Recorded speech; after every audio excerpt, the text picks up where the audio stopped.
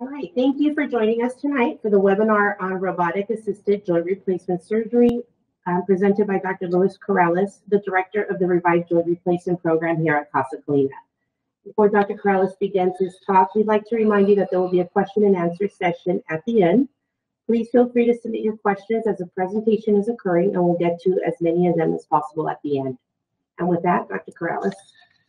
All right, thank you. Um, my apologies. This is the first time uh, doing social media. Usually we do this in person.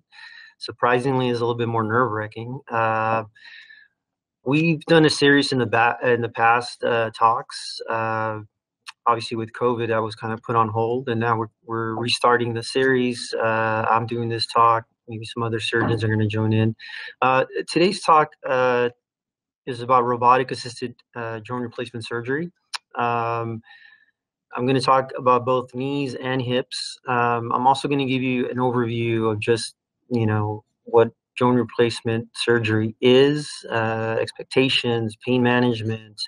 Uh, we'll focus on the technology and the uh, surgical technique, but uh, we also want to give you a broader stroke in terms of what the surgery entails preoperatively, intraoperatively, after surgery. Uh, this is a quote that I like a lot from uh, Abraham Lincoln. Uh, the best way to predict the future is to create it. And when this program started here at Casa Colina Hospital, uh, we wanted to create a program that allowed us to uh, bring in well-rounded individuals to help us get people through surgery and have a great experience and also have great outcomes. Um, typically, those things don't happen by accident. You got to be actively involved to create uh, such a program, and we're really proud of what we've done. Uh, we work with really outstanding people, some of which I'll mention as we move forward.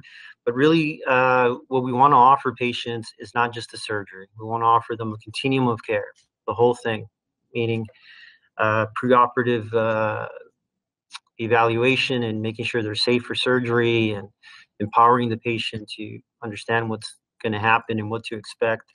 Obviously, a high level of surgical uh, technique and um, and post-operatively a, a, rapid recovery and a lot of support. Uh, this is a big event in someone's life, and want to make sure that we encompass the whole thing. Uh, you know, our, our, saying for our program here is move towards a better life. And we can't forget the big picture because, uh, you know, unfortunately, uh, surgery, it's not a two day recovery. Uh, it is a journey, it is a process. But once we see it through, you know, the big picture really is uh, ending up with a better quality of life. And uh, not just through function, but less pain and, and just more uh, enjoyment from day to day, not having to suffer uh, from the debilitating uh, effects of arthritis. These are some of our patients. you know, we gear them up in these t-shirts with the name of our program kind of our model. And we want to maintain a, a atmosphere of positivity because at the end, like I said, this is a positive thing. There may be some hard days that follow surgery, but overall, in the end, uh, it is uh, our goal is that it's a positive experience and that your life is changed in a positive way. And we really try to push that philosophy through, you know, my staff, me, uh, our therapist, and everybody that's involved with patients. Um, in order to get a good outcome, it isn't just surgery and it isn't just robotics and it isn't just, you know, the, the latest and greatest. It's really a well-rounded approach. And so if you look at this pie, I mean, surgery is part of the pie, um, but you also have nursing here, you have anesthesia, you have rehab, patient selection, you know, education, pain management, and it's really the, the culmination of all these things coming together to, to give you a good result. Um, so this program that we've established here now going on I think more than five years, uh, some of the pillars of the program are to uh, educate and empower patients to medically optimize patients and reduce risk before surgery, incorporate uh, less invasive techniques and technology to help us improve our outcomes, um, and also use outcomes data, meaning uh, we do track our patients and we want to see that our interventions are indeed helping us uh, get a better outcome and helping us make decisions. Uh, we can't talk about surgery without talking about post-surgical pain. Um, most people probably have this in mind when they think about a knee replacement or hip replacement. And sadly, in the past, perhaps that was more the case. Um, fear still remains the most frequent reason people uh, hold off on surgery. Um, so they're in a lot of pain, but they're so afraid of the the pain after surgery that they're willing to live with pain because of that. So it's definitely something that's very important for us to address, and that was one of the main things we wanted to work on. As you know, pain is complicated. It's, it's an emotion. It varies between people. People handle pain differently, um, cope with pain differently, and so it is at times a moving target. But we spend a lot of time on trying to figure out ways to reduce pain. Um, in the past, I think you know, maybe we didn't do a good job in terms of preparing people for surgery, patient selection and screening. Um, uh, anesthesia certainly has come a long way. Um, the way we handle the soft tissues, the muscles, the skin, the way we do the surgery is less invasive now, and we try to provide, uh, you know, tremendous amount of support. So I think setting appropriate expectations is important. Um, you know, we still haven't figured out a way to make pain zero, but mild at times moderate is kind of our goal. We're trying to avoid uh, severe pain. Uh, we want to identify factors. Uh, every person is different, and so we want to identify factors that are unique to you that may uh, influence your perception of pain. We want to prepare you for surgery. We want to use multiple modalities to treat pain, not just rely on narcotics. Uh, obviously, we want to incorporate uh, less invasive techniques, and we'll talk about robotic surgery in terms of that particular uh, point there and a lot of support. Things to consider as a patient, uh, cycle, your uh, mental state of mind is important. If you deal with anxiety, you have stress, you're depressed, these are things that uh, are important to deal with before surgery and then we have appropriate coping mechanisms. Uh, support at home is very important. In fact, all our patients have to have a coach at home. We call them a coach, but someone at home that's going to give them support, uh, not just physically, but also emotionally. Uh, we want to be aware of, uh, you know, if you've been dealing with chronic pain uh, from other areas of your body, uh, fibromyalgia, smoking, obesity is a big one. sometimes if you, you, have advanced age, you may not be able to tolerate certain pain medications. So we have to figure out other creative ways to deal with pain, or if you can't take non-steroidal anti-inflammatories education and empowerment. That's another big pillar of this program. Uh, here's Susie Johnson. She's our care coordinator. And her uh, objective here is to connect with you early, to form a relationship with you, and to guide you through the whole process from start to finish. Uh, she's in constant communication with patients. Uh, people call her directly through her phone. Uh, we also have Star, a nurse practitioner who manages patients medically on the floor after surgery and once they go home. Uh, we have Cynthia Lopez, my nurse practitioner in my own practice, who helps with the preoperative uh, screening and, and, assessment, getting patients ready for surgery. There's a, a class that all patients uh, are required to take. Uh, oftentimes, we just don't have enough time in clinic to go over all the finer details of, of surgery and what to expect, and equipment and physical therapy, and all the things that go along with this. So, uh, we're, we're, really trying to get um, help people get to the point where at the time of surgery, they really don't there isn't any mystery. They know what's going to happen and so we're trying to eliminate that fear of the unknown which i think is important. Uh, medical optimization is really important. We, we're uh, better off avoiding complications than dealing with complications. Uh, two big ones here in this community are obesity and diabetes. Um, and so we do follow guidelines um, to try to help figure out what patients may be at risk and try to help them uh, reduce that risk in terms of obesity, in terms of uh, uncontrolled diabetes, if they're anemic, if they're smoking. These are things that can be addressed and improved before surgery and can really go a long way to avoid complications. When we looked at our numbers, and I haven't looked at them recently, but in 2017, more than half of our patients were obese and more than half of our patients had diabetes. So these are two big targets that we've been working to try to um, really make a, an impact in the community. Uh, one of the big things uh, is how we treat pain. And I'd say today, the most common way to do this is by uh, using a multi-pronged approach, often called a multimodal pain uh, regimen. Um, what this means is that uh, when you look at how pain is processed, uh, we have the surgical area, and without a doubt, surgery is controlled tissue trauma, right? We're cutting into the body, we're dissecting in the body, and that's going to trigger a response from the body, which ultimately triggers pain. That response is conveyed to the brain via nerves in our spinal cord up to the brain. Brain processes that information, says what is going on here, and then all of a sudden pain is sensed. When you look at this pathway, uh, really, uh, the main thing I want you to get out of this is that we can intervene at multiple levels. We can use medications to uh, help reduce pain at the level of, of the brain where it's being processed, at the level of the spinal cord where it's being relayed, and at the level of the soft tissues where it's being generated.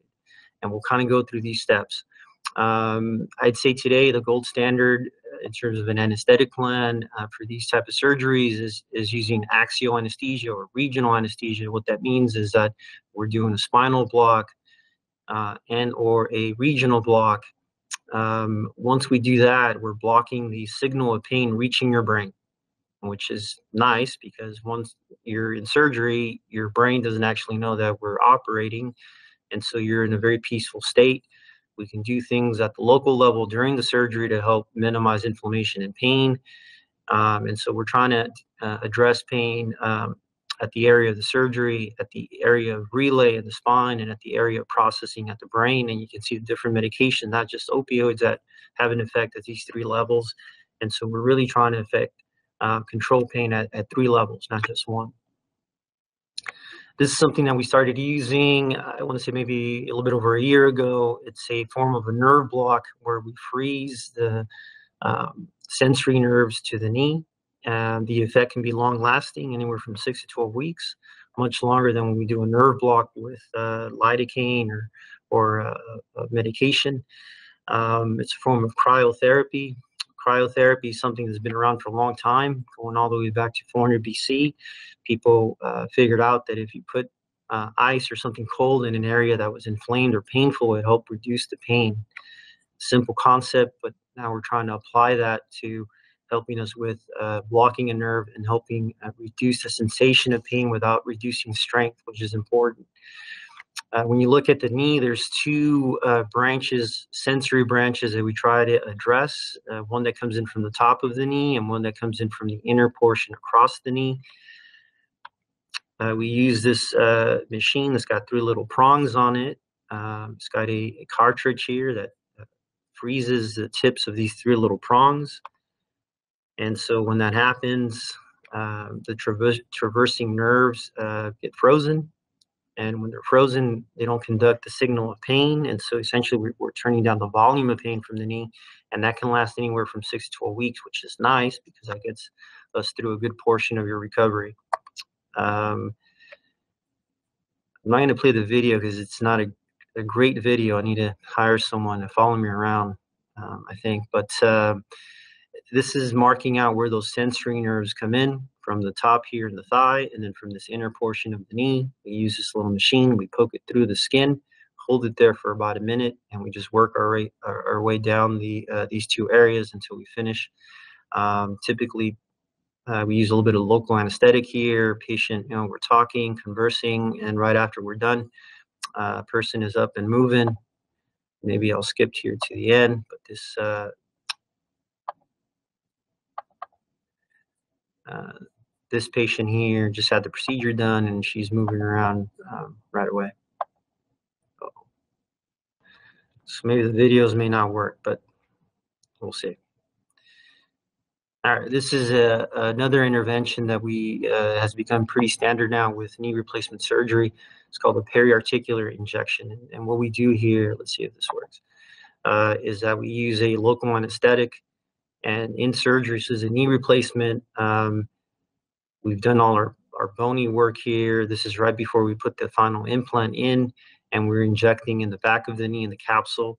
Um, there's a high percentage of pain receptors in the back of the knee, so we're trying to infiltrate that area with local anesthetic all along the edges of the bone, where there's also a lot of pain receptors, and in the subcutaneous tissue. And so in this way, we're trying to control pain at the level uh, at the, at the origin, this person's already gotten a spinal anesthetic, so they're nice and comfortable. And so, uh, and they've received medications um, that help at the level of processing. So all three levels are encompassed kind of in that video. This is where we kind of segued into the robotic surgery. This is a system that we use here, the Stryker Mako system, uh, essentially a big computer with a robotic arm, different attachments depending on the type of surgery that we're going to do. Um, we went over the fact that uh, joint replacement surgery in general is on the rise, not on the not on decline. Um, up to 20% of patients after uh, total knee replacement surgery can report dissatisfaction with the results. Um, arthritis is uh, it's a spectrum, right? So some patients have uh, arthritis in one portion of their knee. Others patients may have more diffuse arthritis, and having the ability to address uh, the problem in a variety of ways, I think, uh, is important from a partial knee replacement all the way to a total knee replacement. Um, in this case, uh, we see up to 30% of patients having isolated uh, inner compartment arthritis, and the rest of the knee is in good condition.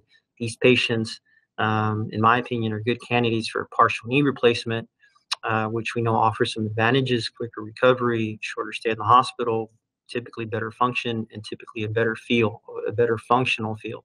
So for someone uh, amendable for a partial knee replacement, they may find this more satisfying than a total knee replacement. Um, this is what a partial knee replacement looks like. This is a patient after surgery where we replace just one compartment of the knee, leaving the rest uh, as it was. Uh, the same way this is planned is similar between a partial and a total knee, meaning first uh, we get a CT scan of the knee. That CT scan is then used to make a three-dimensional model of the knee. We virtually perform the surgery ahead of time. Um, so uh, this is in the computer simulation. The green is where the problem is and where we're putting the implant.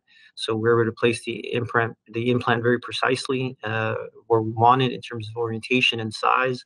And so at the time of surgery, we already have all this information, which helps us uh, make better decisions intraoperatively. Uh, this is a, a, patient of mine, a 40-year-old uh, I think he was an electrician, active guy, liked surfing. He previously had seen uh, someone else who recommended a total knee replacement. He didn't feel he was ready for that. When we saw him, uh, we felt that he was a, a, very reasonable candidate for partial knee replacement. He was um, much more uh, excited about that option, being more preserving. Uh, this is uh, the preoperative plan. Uh, once again, we can see that we're performing the surgery ahead of time, placing the implant, um, ahead of time, uh, getting our orientation, our sizes, how the implant's going to fit in the knee before we even do the surgery. Uh, this is his surgery, or sorry, this is his knee before surgery. This is after. We can see the area that was replaced. These two x-rays are a little bit different, um, but I think it conveys the idea. Uh, we preserved, uh, you know, the rest of his knee. We, we focused here on just the uh, inner aspect of the knee.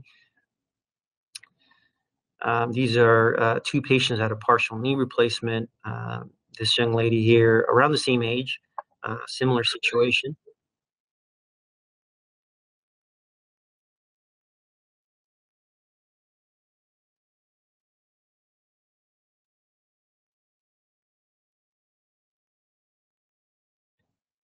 Majority of our partial knee replacements, pretty much all our partial knee replacements, go home the same day, just like this lady. She went home the same day. In fact, a lot of patients are going home the same day now, even after hip and total knee replacement. Uh, this is that gentleman. We saw his x-ray. I want to say this is about, there you go, two months.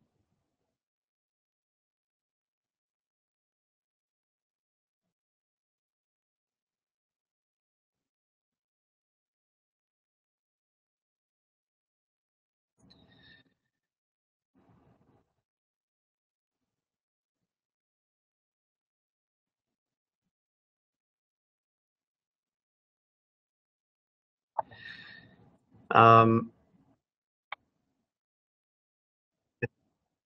if I, if I was a lawyer, I'd probably be accused of leading the witness here. But um, the point is that uh, in the right patient doing a partial knee replacement, I think may may uh, I think these patients were definitely more happy with a partial knee replacement than a total knee replacement. Um, so this is a, a, the total knee replacement. Um, part of the system. Uh, this came out in 2017, and we've been doing these since then. Uh, so it's about four years now. Um, the idea here is very similar. So CT scan, 3D, 3D model of the knee.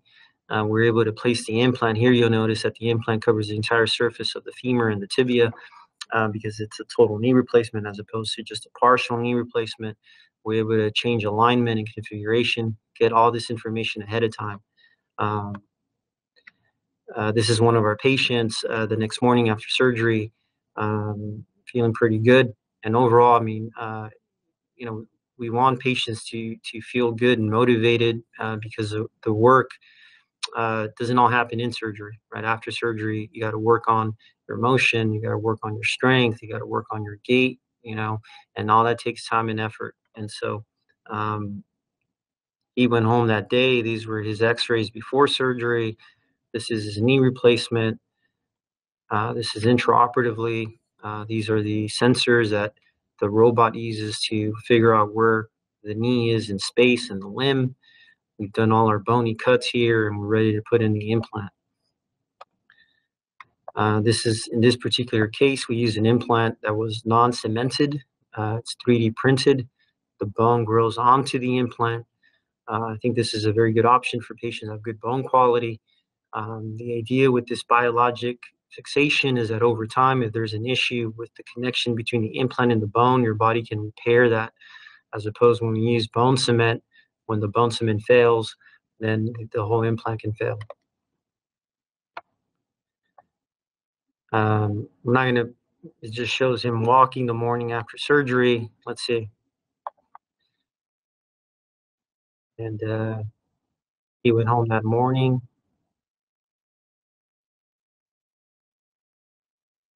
And he was a pretty happy camper. All right. Maybe if I hit the down arrow, would be okay. Uh, this is a patient here. Um, we, we gone away from the bilateral total knee replacements with newer uh, data showing a little bit higher risk of complication. This case, uh, you're well following your bilateral knee replacements.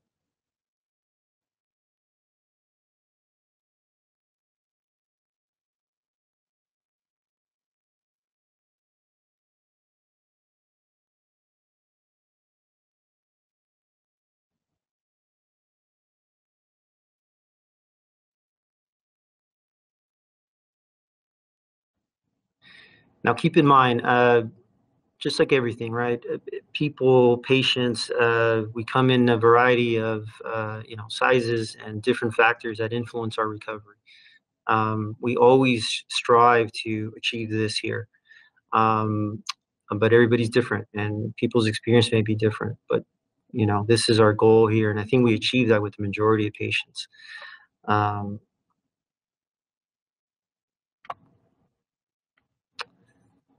Uh, let's see. There we go. Um, these are other patients uh, after surgery, uh, the next morning or the same day of surgery, uh, knee replacement patients, hip replacement patients. This board here is where we um, put how much everybody walks before they go home. Uh, everybody walks the day of surgery, and we kind of track it here so you can see your progress. We try to incorporate family members into the discharge planning, into the therapy, uh, at lunch. Um, really try to make it a, uh, a positive experience, uh, a family experience. Um, we're going to turn our attention uh, towards uh, hip replacement um, surgery. Um, outside of just technology, one of the biggest advancements for hip replacement surgery is really the approach uh, to surgery, going towards a more muscle sparing approach. The gold standard approach to the hip remains the posterior approach. And this is a traditional posterior approach. This is a uh, less invasive muscle sparing approach. We'll work primarily through the glute muscle. We don't go into the IT band and we preserve all the major muscles uh, inside the hip. The anterior approach, similar idea. The lateral approach, similar idea. I always tell patients, don't pick an approach, pick a surgeon because uh, if, if a certain individual doesn't get good outcomes, regardless of their approach, you may not be happy with the results of your surgery. Um, oftentimes, a lot of patients hyper focus on the length and the size of their incision.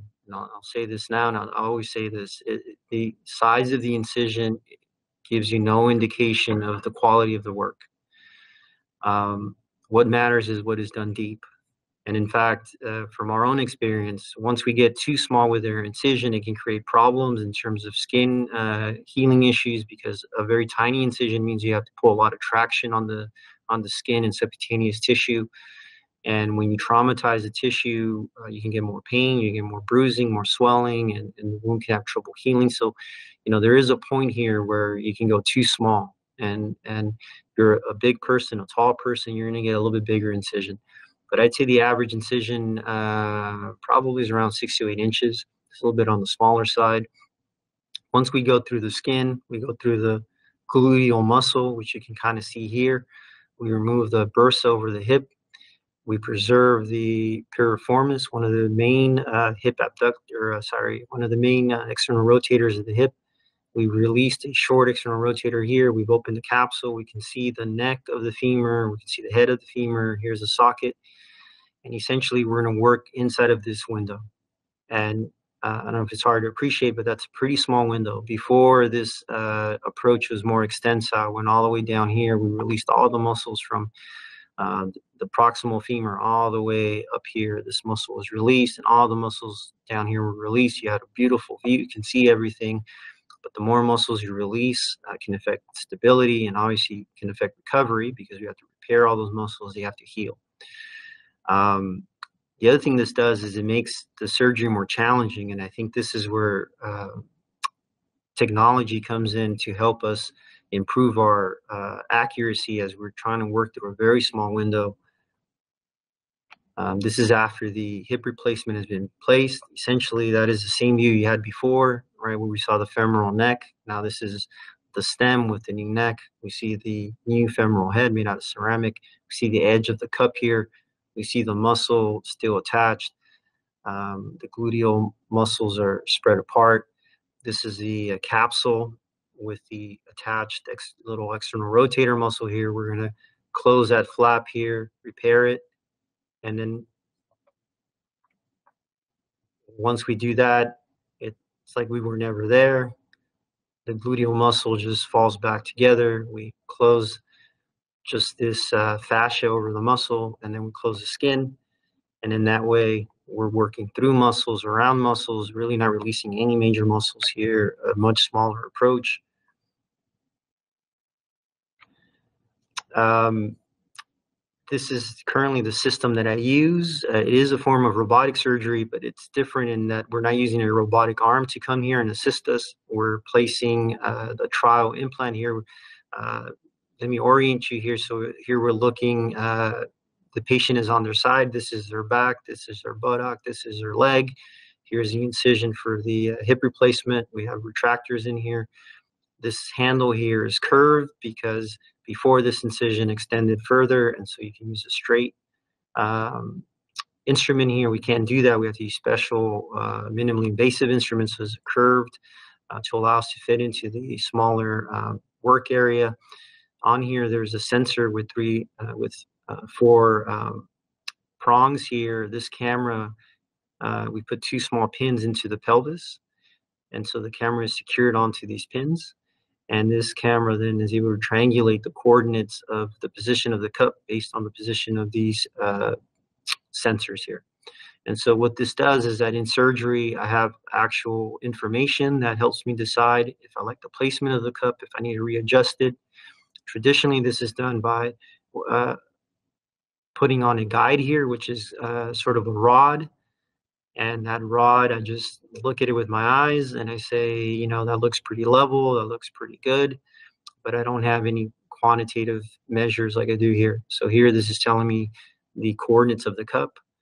Um, also tells me how much we've lengthened the leg, how much tension we've added to the hip, uh, gives us a little bit of the position of the patient. If they're rotated uh, forward, this patient's rotated about six degrees forward, which doesn't uh, affect the measurements um, significantly. But if it was more, then we would have to readjust the position real quick. Um, and so this information is live in surgery, helps me decide if I like the placement of the cup, if that seems appropriate. And then uh, before we put the final implant. Uh, this is a patient, uh, uh, I think I think I posted a video of him on YouTube. He's a pretty funny guy, but um, we've done both his hips uh, replacements at this point. I think this is maybe the I think we did the left side at the surgery here. Uh, this is him the next morning, um, going through our little physical therapy gauntlet here, doing stairs. Um, looking pretty bored, which is not a bad thing. That means things are going well. There's another patient about a week surgery. I think showed up to therapy appointment.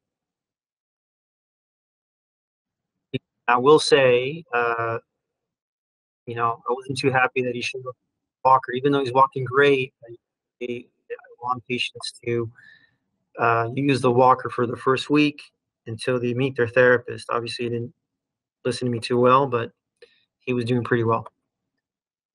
Oops.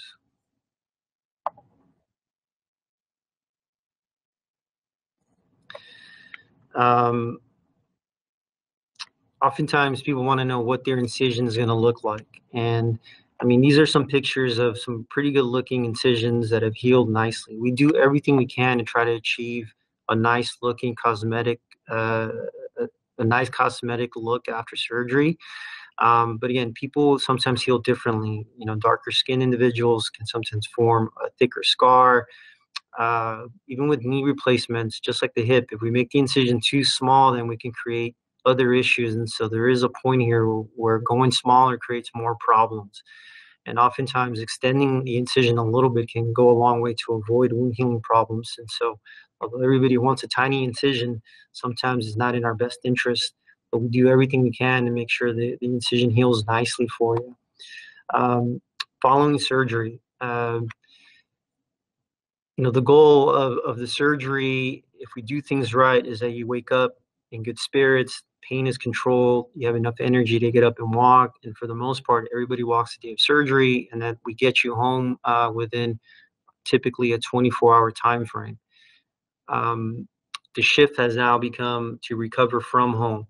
And so our job is to try to give you the tools and do things in a way that allow you to mobilize quickly and recover from home um, data across multiple fields shows that the longer people stay in the hospital, the higher the rates of complications. Obviously, there's a balance. We never want to send a patient home who's not ready, and so we do follow pretty strict criteria. But essentially, uh, you know, if you're walking around safely, pain is controlled, you're medically good, you know, you're you're uh, avoiding, you're eating, you're feeling uh, good, then at that point, not in pain, you're not sick, you're not um, immobile, and so um, you don't have to be in a hospital, and that's really the goal. When we look at some of our pain scores, uh, what we see here is that when you get to the floor, average person rates their pain under two. At about 12 hours, it tends to dip a little bit.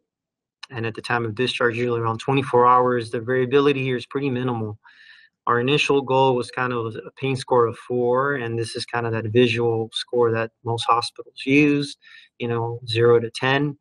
Um, you know, kind of the goal has been to keep pain sort of in this mental area. We're trying to avoid this area here. Uh, what I've seen is that um, based on everything we do in, in surgery, before surgery, um, pain can be pretty minimal the first three days. And it does go up a little bit around that third or fourth day as some of these interventions start to wear off. And then we got to rely just on some common sense, taking our time, treating the uh, swelling, using ice, following a pain schedule, and not overdoing it, which I think is the big one. Oftentimes, patients feel really good. They go home, they don't take anything for pain. They're walking around all day. They're just bragging to everybody how great they feel. And then that third or fourth day comes, and that pain really hits them because you know they've been off of any medication now for a couple days they've been overdoing it and um, we really try to coach them to to avoid that scenario when you go home take your time healing is not just activity it's also how you eat how you sleep how you deal with stress how you manage your pain you know um, manage your activity And so those are important aspects to keep in mind. Also, the length of stay, how long you're in the hospital, has drastically changed. At least when I started seven seven years ago, um, I want to say the average length of stay was about three days, which was better from five days before that and better from eight days before that. And so over time, we're seeing this trend uh, continue to work its way down. Currently, we're at about uh, 24 hours or less. Partial knees typically go home the same day, but we're seeing now a higher percentage of patients going home the same day after hip and knee replacements as well. And by far, the, the discharge now is, has changed. Um, very min, very small amount of patients go to a skilled nursing facility or, or to acute rehab. Majority patients go home. I think this data here is when we started our program, um, 83% was was great.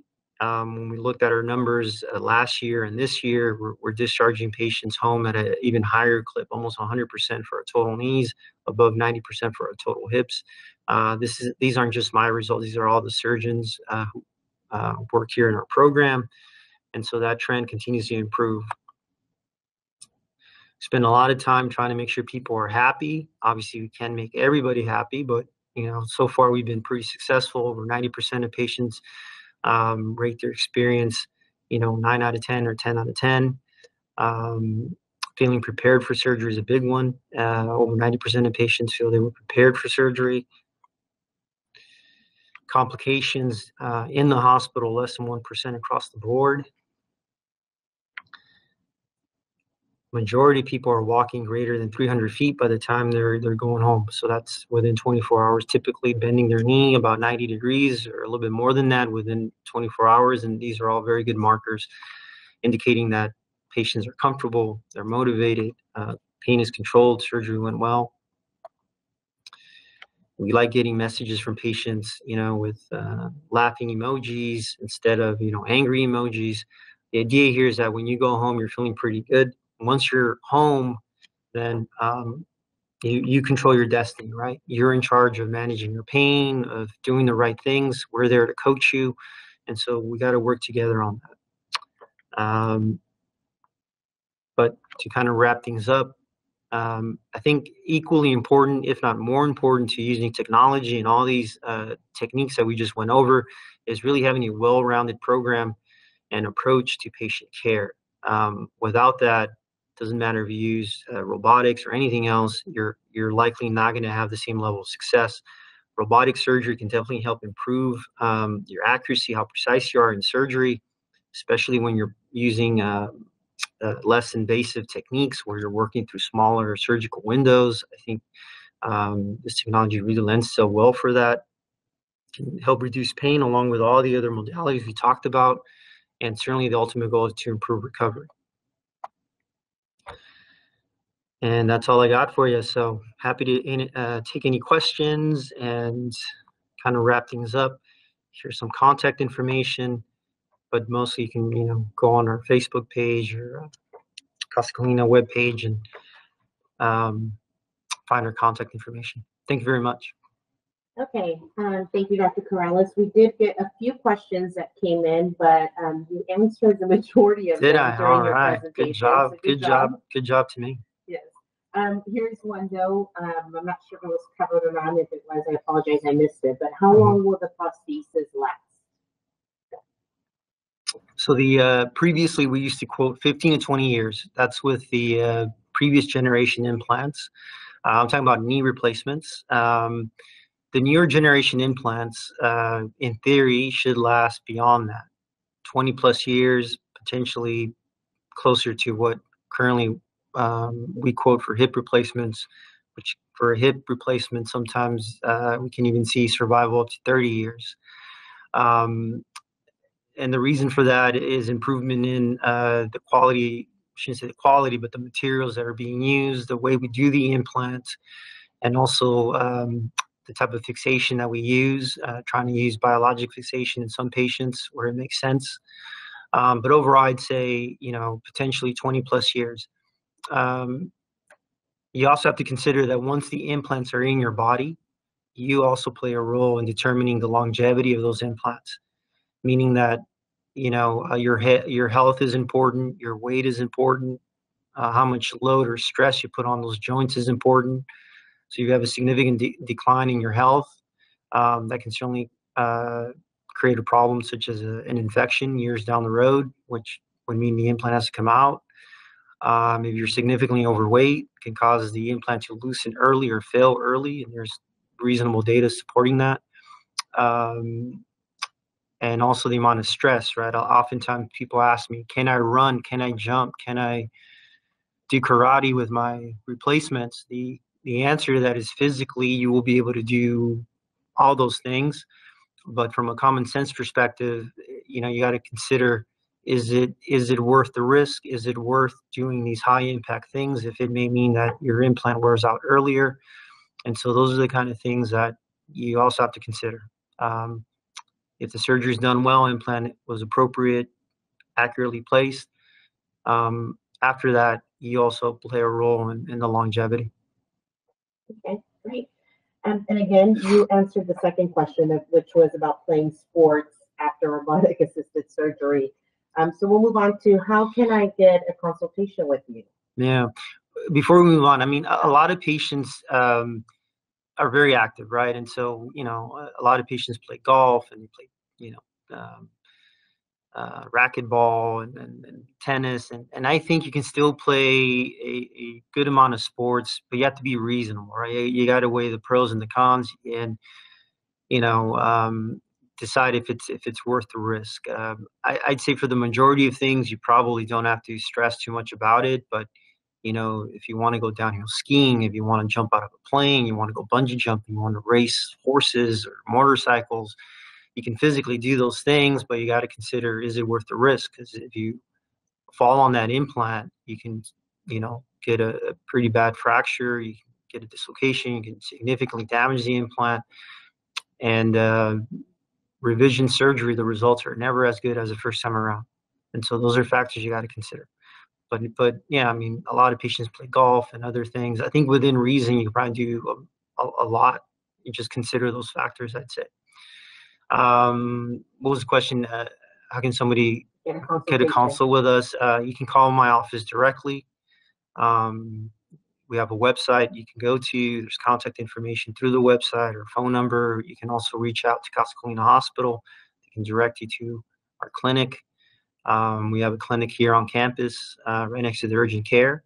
Uh, we also have a clinic in Rancho Cucamonga at the Milliken uh, Medical Building uh, there. Um, but I'd say probably the easiest way is just go to our website. All, all our contact information and directions are on there or through the Casa Colina website. Um, we did hear one more question come in. Can you eventually kneel after an implant or can you cross your legs? That's a good question. So um, you can you can kneel, you can cross your legs. Uh, with knee replacements, uh, a decent percentage of patients, although they can physically kneel, don't find it comfortable. That's pretty common. Um, you can get some numbness on the lateral uh, outer aspect of your incision. Um, that's also very common. Um, so yeah, physically you can kneel, but uh, you may not find it comfortable. So I'm always very upfront with patients, especially if you work, uh, you know, um, doing a job where you have to be on your knees, like laying tile or certain kind of construction type of jobs. And so it's important to have that conversation ahead of time. Um, otherwise, if those expectations aren't set, and after surgery, patient wasn't aware of something like that, then they come to your office unhappy because they're they're having trouble kneeling or they don't find it comfortable. I think if if we're up front, uh, we try to anticipate, you know, uh, questions and things. Um, I think we encompass most.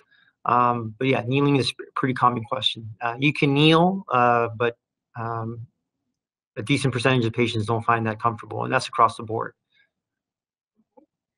Um, Jeff is asking how long before a typical patient um, can return to an office job? Uh, for office work, um, I usually say between six and eight weeks. Um, could be sooner than that, could be later than that. It depends on your recovery and how you're doing. Um, I've never had a patient rush back to work and tell me that it was a good decision. And so I always tell patients, you know, take more time than you need. Um, block out more time than you think. This isn't a race. We want to do things right because if we do, then you get through your recovery and you move on with your life instead of dealing with issues or your recovery being prolonged. You got to understand that with work, once you go back to work, uh, you introduce stress, you introduce limitations to your time. Um, most employers are not going to want you on certain medications that maybe you may still need to help you with your pain. You may be sitting for prolonged periods of time, which can cause swelling and, and other issues that we want to avoid. And so you got to consider all these things, you know. And I always tell patients, make sure you pick a time that that allows you to step away and focus on your recovery. Two months are very critical. You know, if uh, if you're on a time crunch, probably not the best time to have the surgery. Um, in addition to that, keep in mind also your nutrition, your sleep. All these other things are very important. Oftentimes we overlook that. But you know, if you're stressed out because of work, because of other factors, you're not eating right, you're not sleeping, well, guess what? You're not going to feel well. Your knee's not going to perform well, and your recovery is going to be affected. So these are things you got to think about. Give yourself ample time. Office job, though, I'd say, um, you know, six to eight weeks, but I always say leave yourself some wiggle room. Okay. Um, well, that concludes um, the questions that we had for our question and answer session. If you have any additional questions or would like more information, um, this presentation will be um, on our YouTube page in the next few days, so you can go back and reference that. You can also contact us through our website or contact Dr. Corrales' office directly as well. Again, thank you, Dr. Corrales, and thank you all for joining us. Have a good evening. All right. Thanks, everybody. Have a good night.